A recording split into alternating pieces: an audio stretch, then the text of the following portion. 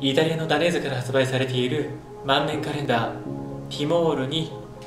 数量限定でグリーンが再販されました。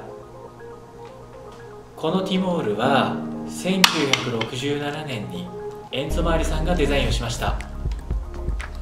万年カレンダーという名前の通り万年使えます。ずっと使い続けられるので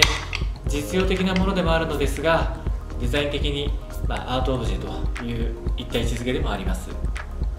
このグリーンなんですけども、まあ、実はあの再販されるの3回目なんです。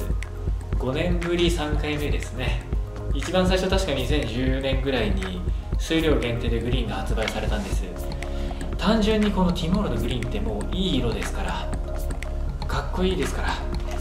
その時すぐ売れて売れたんですよ。で2016年にその時また数量限定で再販したんです。それも買い完売はしたんですけど、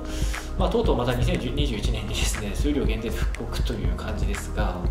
今回の再販はですね相当数が少ないのでまあなんでしょうね。新しくダネーゼを知った方とか、まあ、ティモールを知った人がですねああグリーン欲しかったっていう話よく聞きますので、まあ、そういった方へのチャンスという位置づけかなと思いますんで。